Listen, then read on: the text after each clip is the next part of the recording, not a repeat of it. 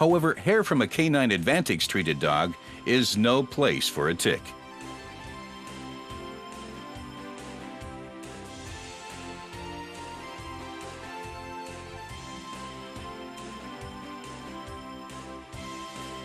The decision is made to stay well away.